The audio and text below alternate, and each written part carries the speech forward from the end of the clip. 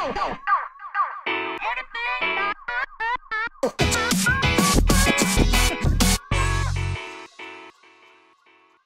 ladies and gentlemen and welcome to my channel Tech with Eddie which is all about integrating cheap IoT devices with your favorite home automation ecosystem. My videos are all about simplifying installations using step-by-step -step guides uh, to integrate devices from Xiaomi, uh, Z-Lite, uh, Sonoff, uh, SmartThings and many others. The whole idea is to get the same rich home automation experience by spending less. That's the key. And you have seen it in my past videos. If you haven't, please do uh, see them and don't forget to hit the like and subscribe button. So a couple of months back, I did get my hands on a Synology NAS server. The model that I have is the DS218 Plus. It is now a central uh, part of my entire home network. Its performance is flawless. Uh, it, it's a it's a workhorse, and uh, uh there's no uh, there has not been any issues with it so far. So this is what I have currently installed with it. So Firstly, the specs. It's a dual core 2.0 gigahertz processor with a burst frequency of 2.5 gigahertz. Uh, I've installed with uh, two units of WD-RED uh, 3 TB NAS internal hard drives. Plus, I've installed an additional HyperX 4 GB DDR3 memory with the existing 2 GB it comes with. Now, what am I currently using with? Uh, I'm primarily running Docker with the below, below containers which is Watchtower, Portainer, Plex, Pi-hole, Transmission, MQTT, Hoobs. It basically covers my uh, network, it uh, covers my media and entertainment as well as my home automation. Now, the moment I started integrating non-certified devices with my Apple Home Kit, I said, why not integrate Synology and uh, Pi-hole with Apple Home Kit? So I started investigating and I did come across two plugins uh, which both are uh, certified with Hoobs. The uh, Synology plugin, uh, what it basically does is in Apple HomeKit, it shows you the status of the server, whether it's on or off, and the temperature. And if you want to uh, know more about the performance of a Synology NAS server, um, it's good to use the Eve uh, app. With that, you can see the CPU load, the hard disk usage, as well as the temperature. So you can get more details using the Eve app on your Synology uh, NAS server. And the uh, Pi-hole plugin, uh, all it does is enable, disable the service. Everything happens uh, in the palm of your hands using just Apple HomeKit. For all of this to work, we will need obviously a Synology uh, NAS server. In my case, I'm using the D18 uh, Plus. Two, uh, we will need the Pi-hole service uh, up and running. In my case, I'm doing it through Docker. And most importantly, your preferred home automation. In my case, I'm using uh, Hoobs. So for all this installation to happen, I will run them uh, together. So we will install the plugins uh, followed by the configuration and we'll see how they are really working in the Apple HomeKit as well as the Eve Home app. Okay. So like I always say, uh, let's not waste time and let's jump into the installation. So let's first log in into our server and also let's log in into our Hoobs platform and uh, with the within the Hoobs platform let's go ahead and install the plugins so let's look for synology hit install.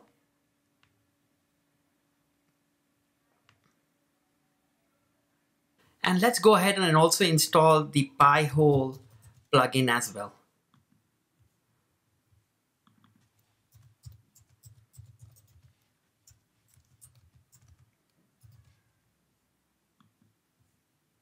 Whilst the installation uh, is being executed, I've in, uh, added in the description uh, the uh, step-by-step -step guide for uh, both these plugins.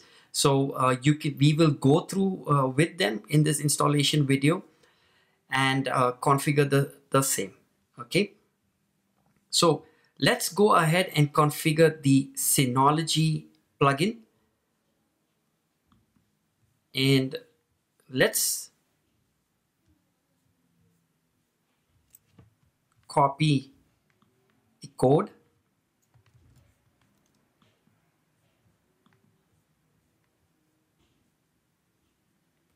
Go all the way down to Synology, hit configuration, add accessory, and we're to put this, paste it over here. So we'll need to get the IP address, the MAC address, the port, your account, the password, the version that is currently using, and we leave the other three values as it is. So let's go on to the Synology web interface, hit control panel, and the first thing we want to go is go to info center. We want to go to network and we want to copy first the IP address, control C.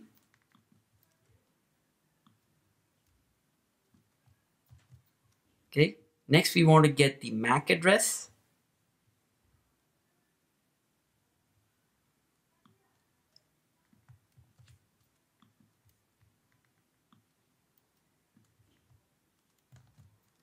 Okay, uh, then we want to get the uh, port. For the port, we'll need to go to network.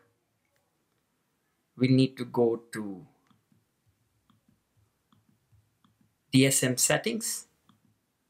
So if you have enabled the HTTPS, then we need to use 5001. If not, the default value is 5000. So in my case, I'm using HTTPS. So I'm just going to copy this to this value. It's already there. And then my account. So in my case, it's D. And uh, gonna type my password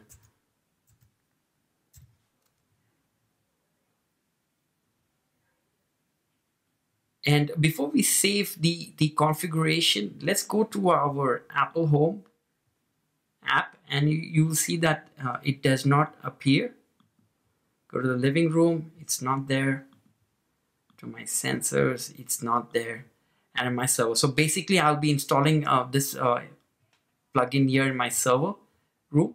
It's not there. Uh, so let's go back to the Hoobs and uh, scroll down.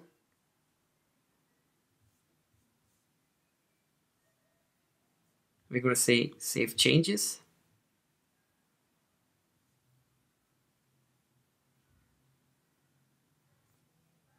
the configuration has saved.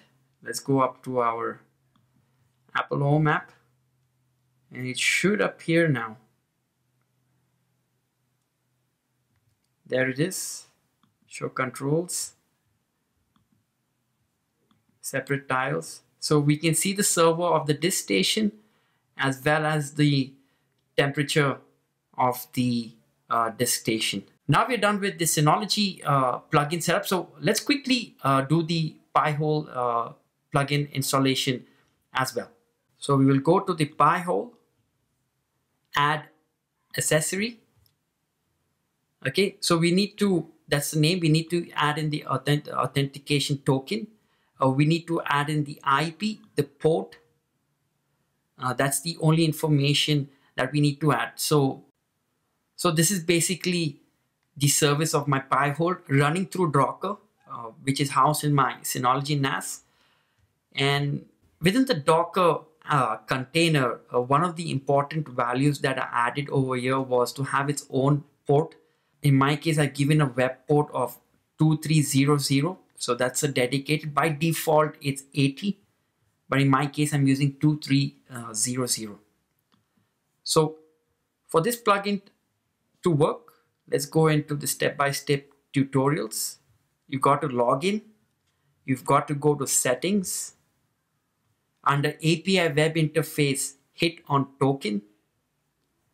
Click on yes, show API token, and this is the screen that you'll get. You just have to copy this raw, raw API token value and paste it in the configuration. So uh, we'll go ahead and do that.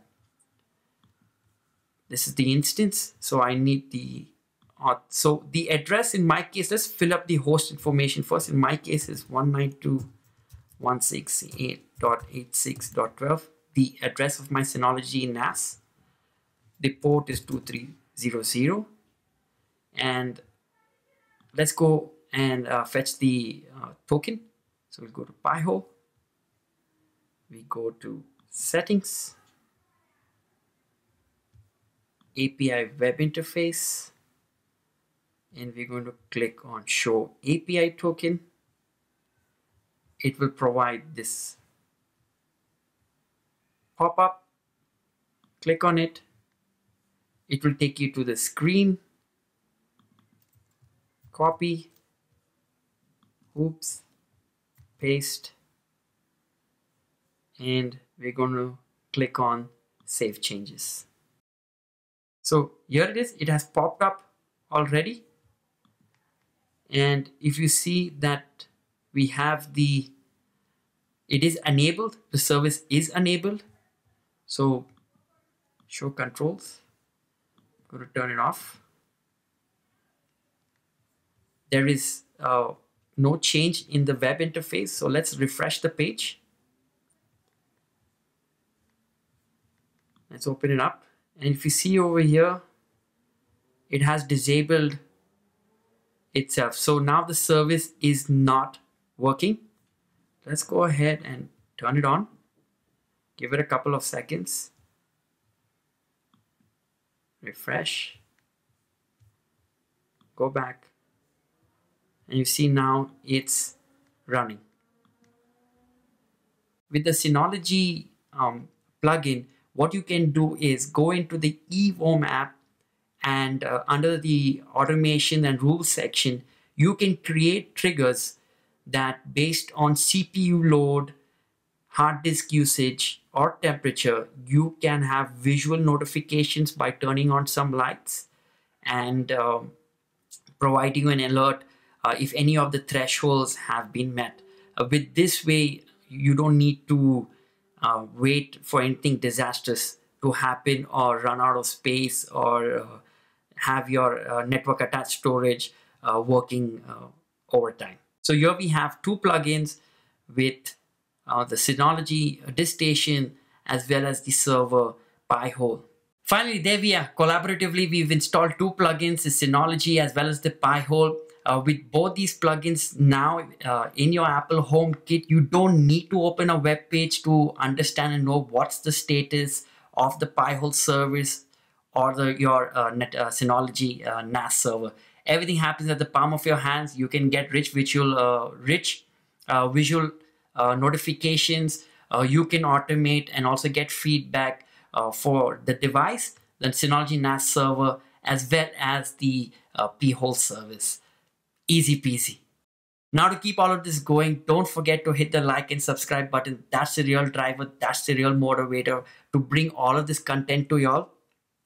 And if you have decided to get your own Hoobs out of the box, uh, all in one solution, I've got the links in the description. Please go ahead and click them. Uh, it really helps me with the channel as well. And most importantly, not forgetting the developers who make all of these fantastic plugins and make this all possible for us. So until the next time, stay safe, have a nice day, bye, ciao, and happy automation.